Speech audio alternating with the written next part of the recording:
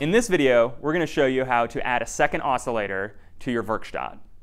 For this project, you'll need two 10K potentiometers, a breadboard, one 6.8K resistor, wire cutters, a Phillips head screwdriver, and jumper cables. Our first step is to unplug the Werkstatt. Then, using the Phillips head screwdriver, we'll remove the top four screws. Inside the PCB, there will be screws holding the board to the chassis. These are the screws that you'll need to get ground off of. Simply strip one end of a jumper cable, wrap it around the ground screw, and tighten. You can now close the Werkstatt. Now we can plug our Werkstatt back in. For our second oscillator, we'll actually be using our LFO. To ensure that our LFO is audible, we actually need to patch the VCF out and the LFO out. This seems counterintuitive, but it actually works. I'm going to be doing this through one of our 10K potentiometers to allow me a level of attenuation. Take your 10K potentiometer and place it in your breadboard. Then, using a jumper cable, run from the VCF out into one of the far legs of the potentiometer, and from the center pin of the potentiometer, run a cable back to the LFO out. At this point, you should be able to hear the LFO if the frequency is in the audible range. The potentiometer acts as an attenuator for the LFO signal.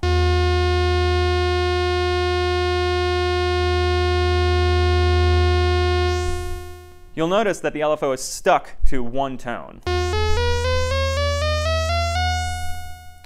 To make our LFO playable, we'll need to use the KB-CV out.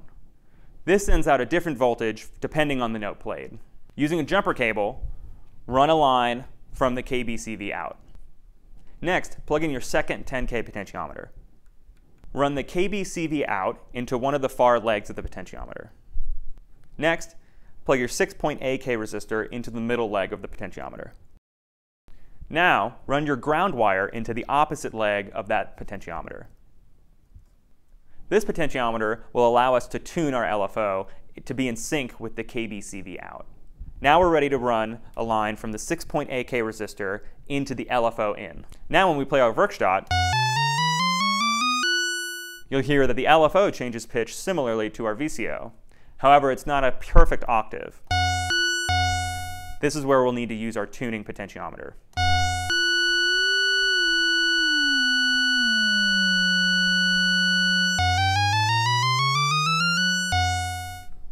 And now you have a second oscillator that is completely controlled by your keyboard. Since we're using the LFO as a secondary oscillator, that negates its use for any other control voltage purpose. Also, since we're patching the LFO out into the VCF out, we're actually bypassing the filter altogether. You can hear that if I change the cutoff frequency of our VCF, only the VCO is affected.